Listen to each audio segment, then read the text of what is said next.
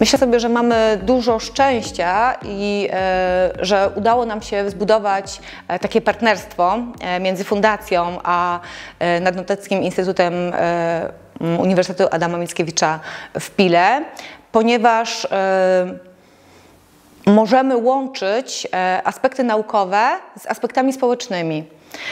Daje to pole z jednej strony dla profesjonalizmu, a z drugiej strony dla mm, budowania takiej społeczności wokół czy uniwersytetu, czy wokół tematu, którym się zajmujemy. Żyjemy w takim momencie, kiedy mm, Mamy sporo wyzwań i mało czasu. Ten projekt, który tworzymy wspólnie, to jest taka mikroskala, gdzie możemy połączyć zarówno y, budowanie wiedzy na temat zapylaczy, y, jak i y, pokazanie, w jaki sposób dbać o zasoby wodne.